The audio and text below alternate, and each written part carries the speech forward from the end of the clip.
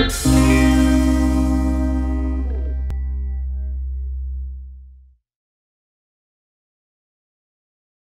ามาดูฟอร์มที่ 3 นะครับ ฟอร์มที่ 3 จากท่าเบสิกที่ออกแรงในแนวระดับและมาออกแรงเฉียง ตอนนี้เรานำวัตถุไปวางอยู่บนพื้นเอียงนำวัตถุไปวางอยู่บนพื้นเอียงนะครับ ถ้าสมมติว่านำวัตถุไปวางอยู่บนพื้นเอียงแล้ว แล้วเราเอียงพื้นขึ้นไปเรื่อยๆนะครับก็คือทำให้มุมเซต้าโตขึ้นเรื่อยๆ ไปถึงจุดหนึ่งเนี่ยวัตถุจะเริ่มเคลื่อนที่ และถ้ามุมโตกว่านั้นก็คือมันจะเคลื่อนที่ด้วยความเร่ง สมมุติว่าตอนนี้มันกำลังเคลื่อนที่ด้วยความเร่งแล้วกัน ความเร่ง A นะครับถ้าวัตถุเคลื่อนที่ด้วยความเร่ง A ลงมาในแนวเดียวกับพื้นเอียง เราก็เลยทำตามข้อตกลงเดิมก็คือว่า เรากำหนดให้แนวเดียวกับพื้นเอียงเป็นแกน x และแนวตั้งฉากกับพื้นเอียงเป็นแกน y นะครับ เช่นนั้นใส่แรงให้ครบนะครับ ก็มีแรงที่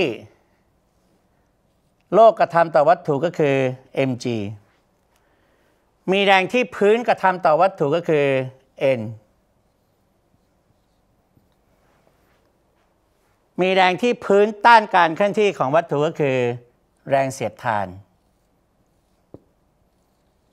นะครับแรงเสียดทาน หาแรงย่อยหรือองค์ประกอบย่อยของแรงต่างๆ ที่ไม่ได้อยู่ในแนวแกน x กับแกน y เราพิสูจน์ได้ว่ามุมนี้เป็นมุมเซตานะครับ เพราะฉะนั้น องค์ประกอบย่อยของ mg ก็คือ mg cos เซตา และนี่ก็คือ mg sin เซตาเนื่องจากวัตถุไม่มีการขึ้นลงในแนวตั้งฉากกับพื้นเอียง เราก็เลยบอกว่าซิกมา fy มีค่าเป็น 0 นั่นก็คือ n ลบ mg cos เซตาเท่ากับ 0 หรือ n เท่ากับ mg cos เซตาสมการที่ 1 อันนี้ก็เป็นการยืนยันว่า n ไม่ได้มีค่าเท่ากับ mg เสมอไปนะครับ อย่างน้อยบนพื้นเอียนี่คือ n เท่ากับ mg cos สมการการเคลื่อนที่ก็คือ sigma fx เท่ากับ ma นั่นก็คือ mg sin เซตาลบ f เล็กเท่ากับ ma นะครับ mg sin เซตาลบ mu n นะครับ ลบ mu n ซึ่ง n กรณีนี้คือ mg cos เซตาเท่ากับ ma นะครับ ถ้าเราทำการเคลียร์สมการโดย m หารตลอดนะครับ ก็จะได้ว่า a มีค่าเท่ากับ g sin เซตาลบด้วย mu cos เซตาอันนี้คือสมการที่ 2 นะครับ ก็คือถ้าเราวางวัตถุแล้ววัตถุกำลังเคลื่อนที่ลงมาด้วยความเร่งบนพื้นเอียง โดยไม่มีแรงอื่นกระทำก็จะได้ a มีค่าเท่ากับ g คูณกับวงเล็บ sin เซตาลบด้วย mu cos เซตา mu ก็คือสัมประสิทธิ์ของแรงเสียดทาน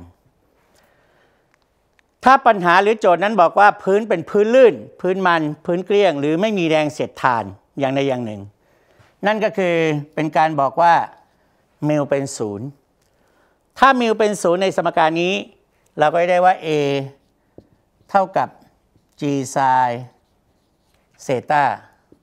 นะครับเป็นสมการที่ 3 อันนี้คือถ้าเงื่อนไขถูกกำหนดมาว่ามิวมีค่าเป็นศูนย์นะครับ ถ้าเป็นการทดลองอย่างที่เราทำการทดลองเพื่อที่จะหาสัมประสิทธิ์ของแรงเสียดทานนั้นก็จะมีเรื่องราวนี้อยู่นะครับในกิจกรรม ก็คือถ้าเป็นการทดลองแล้วเราทำให้มุมนี้โตขึ้นเรื่อยๆ โตขึ้นจากศูนย์นะครับ โตขึ้นจากศูนย์องศาไปเรื่อยๆนะครับ จนกระทั่งจนกระทั่งวัตถุเริ่มเคลื่อนที่ ถ้าเราใช้คำว่าเริ่มเคลื่อนที่นะเริ่มเคลื่อนที่ลงนะครับ เริ่มเคลื่อนที่ลง ความสัมพันธ์ที่ได้ก็คือในสมการเนี้ย a มีค่าเป็น 0 และมิวตัวนี้คือมิว s นะครับเริ่มเคลื่อนที่นะครับเงื่อนไขนะครับ อันนี้คือท่านะครับ a เป็น 0 ก็ได้ว่า 0 เท่ากับ g sin เซตาลบมิว s cos เซตาเคลียร์สมการนะครับ ก็คือย้ายข้างแล้วก็จัดการนะครับ ก็ได้ว่ามิว s จะมีค่าเท่ากับแทนเซตามุมเซตาขณะนี้เราเรียกมันว่าเซตา s เซตา s ก็คือมุมที่ใช้ในการหาสัมประสิทธิ์ของแรงเสียดทานสถิต ก็คือมิว s เท่ากับแทนเซตา s นะครับ และในการทดลองนั้นเช่นกัน ถ้าเราปรับให้มุมโตขึ้นเล็กน้อย วัตถุก็จะเคลื่อนที่ด้วยความเร่ง ถ้าต้องการวัดค่าของมิวเคหรือสัมประสิทธิ์ของแรงเสียดทานจน เราก็ปรับให้วัตถุเคลื่อนที่ลงมาด้วยความเร็วคงที่ เมื่อคงที่นะครับเมื่อ v คงที่ เมื่อไหร่นะฮะถ้าเป็นเงื่อนไขของ v คงที่ สิ่งที่ได้ก็คือมิว k เท่ากับ tan θ k ก็คือมุมขนาดนั้นเราเรียกว่าเป็นมุมของแรงเสียดทานจลน์ครับนะฮะอันคือวิธีการหามิว s กับมิว k บนพื้นเอียงครับ